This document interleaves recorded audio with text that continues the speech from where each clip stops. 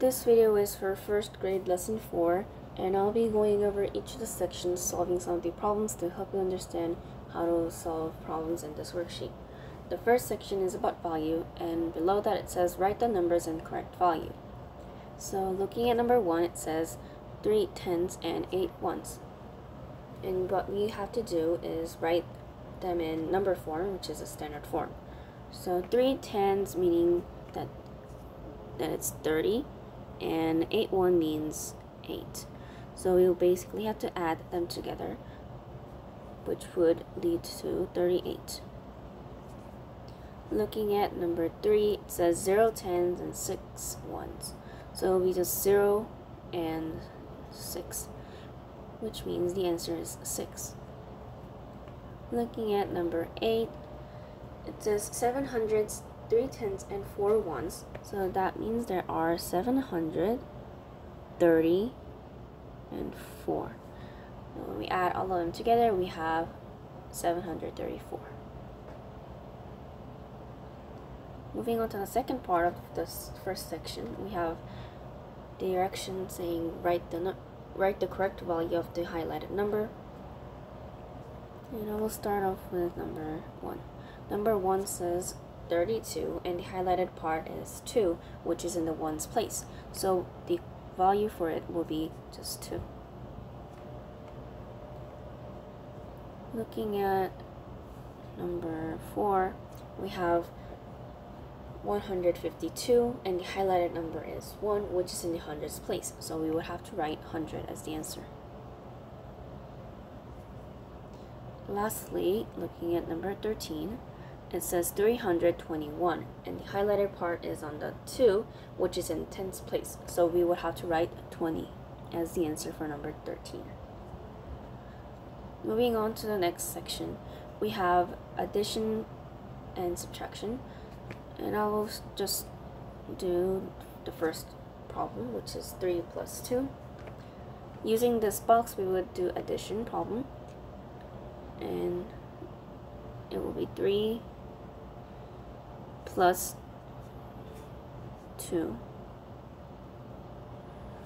And when we count all of them, we have 1, 2, 3, 4, 5. So we know that the answer for number 1 is 5.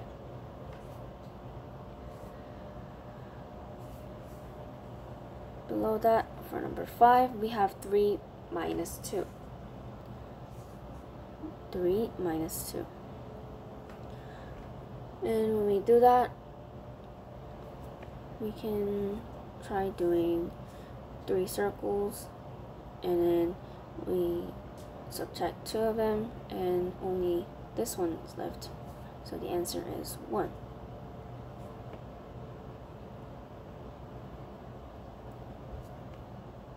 looking at number 10 we have 12 plus 40 let's write that in vertical form so it's easier for us to solve.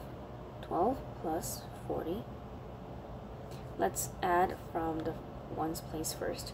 2 plus 0 is 2, and 4 plus 1 is 5. So the answer for number 10 will be 52. Let's look at one more problem, which is 13. 13 says 71 plus 8. We will also write that in vertical form, 78 plus 8.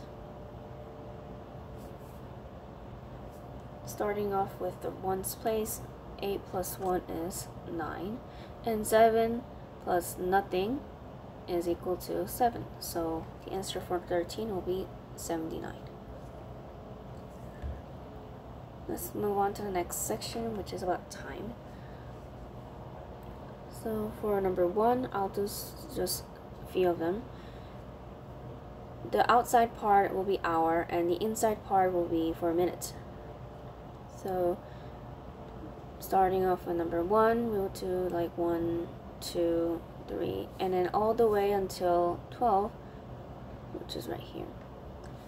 And inside is minute. So we will start by five and count five steps forward each time. So it will be 5, 10, 15, and so on until you get to 60. And you would have to fill out the rest of the boxes. Let's try number two. Number two says it has the shorter line on the 4 and the longer line on the 12. The shorter one is for hour and the longer one is four minute.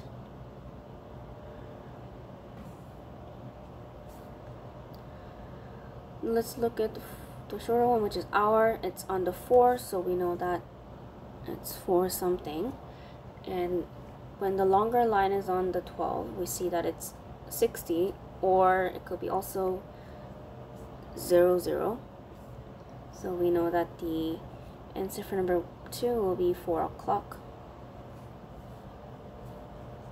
And that's how you would do for rest of the 3 4 and 5 now let's move on to the last section which is work problems and I will just do number 1 students brought 12, 20 chairs into the new classroom. Soon they realized that they needed a few more chairs, so they brought in 12 more chairs. How many chairs are there in total? So there were 20 chairs to begin with, and they realized that they needed a few more chairs, so they brought in 12 more chairs, so we would have to add 20 and 12. Let's start by adding the ones placed together. So 0 plus 2 will be 2, and 2 plus 1 will be 3. So there are 32 chairs in total.